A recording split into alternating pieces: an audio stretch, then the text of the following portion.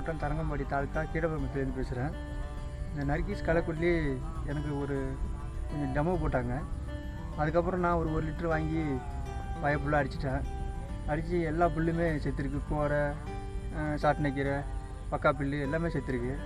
இந்த களைக்கொல்லி நல்ல விதமாகவே இருக்குது இந்த களைக்கொல்லி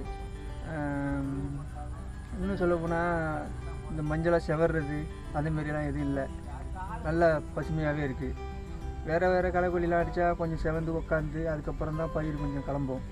ஆனால் இது அப்படிலாம் இல்லை. நல்லாவே இருக்குது ஓகே